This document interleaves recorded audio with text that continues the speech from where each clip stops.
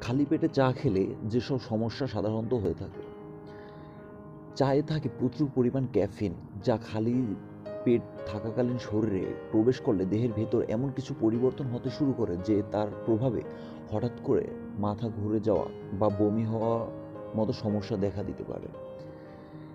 বেশ কিছু স্টাডিতে দেখা গেছে, সকাল সকাল খালি পেটে চা পান করলে মস্তিষ্কের ভেতর এমন কিছু হরমোনের ক্ষরণ বেড়ে যায়, যার প্রভাবে স্ট্রেস এবং অ্যাংজাইটির মাত্রা বৃদ্ধি পেতে শুরু করে, ফলে শরীর ভাঙতে দেরি লাগে না কিন্তু।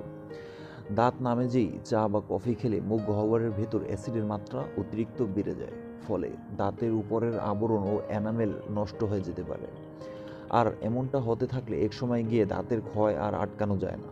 শুধু তাই নয়, বেশ কিছু কেস স্টাডি করে দেখা গেছে এমন অভ্যাসের কারণে জিনজিভাইটিস সহ একাধিক গাম ডিজিজ হওয়ারও আশঙ্কা বৃদ্ধি পায়। তাই দাঁতকে দীর্ঘদিন সুস্থ রাখতে দয়া করে এটি পান করা বন্ধ করুন।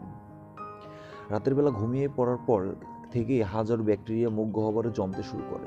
সেই কারণেই তো সকালে উঠে মুখে এত গন্ধ হয়। এমন পরিস্থিতিতে দাঁত নামে যে যদি চা, কফি পান করা হয়, তাহলে এই সব ব্যাকটেরিয়া খাদ্যনালী হয়ে এসে পৌঁছায় স্টোমাকে। ফলে সেখানে অ্যাসিডের মাত্রা এতটাই বেড়ে যায় যে যা নানাবিধ সমস্যা মাথা চারা দিয়ে ওঠে। তাই যারা গ্যাস, অম্বল বা বদহজমের সমস্যায় ভোগেন, তাদের তো ভুলেও দাঁত নামে যে চা বা কফি পান করা উচিত নয়। বেশ কিছু স্টাডিতে দেখা গেছে যে চা খাওয়া মাত্র নানা কারণে শরীরের পানির মাত্রা কমতে শুরু করে। আর এমনটা পেট থাকাকালীন হলে কিন্তু মহাবিপদ এই কারণেই তো ঘুম ভাঙা মাত্রই চা পান করতে মানা করেছেন চিকিৎসকরা। আসলে দীর্ঘ আট ঘণ্টা ঘুমানোর কারণে এমনিতেই শরীর পানির ঘাটতি থাকে।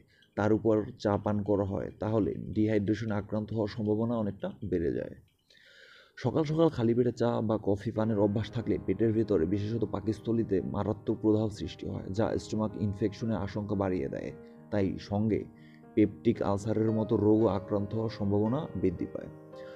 সকালে ঘুম থেকে উঠে প্রথমেই এক গ্লাস পানি খাওয়া উচিত, যাতে শরীরে জমে থাকা ক্ষতিকর টক্সিক উপাদান বেরিয়ে যেতে পারে। কিন্তু এমনটা না করে যদি কেউ এক পেয়ালা চা পান করেন, তাহলে টক্সিক উপাদানের মাত্রা কমে তো নাই, উল্টো আরও বেড়ে যায়। ফলে শরীরে একাধিক গুরুত্বপূর্ণ অঙ্গগুলোর যেমন ধরুন লিভার, কিডনি এবং ফুসফুসের মারাত্মক ক্ষতি হওয়ার আশঙ্কা মাত্রাতিরিক্তভাবে বেড়ে যেতে পারে।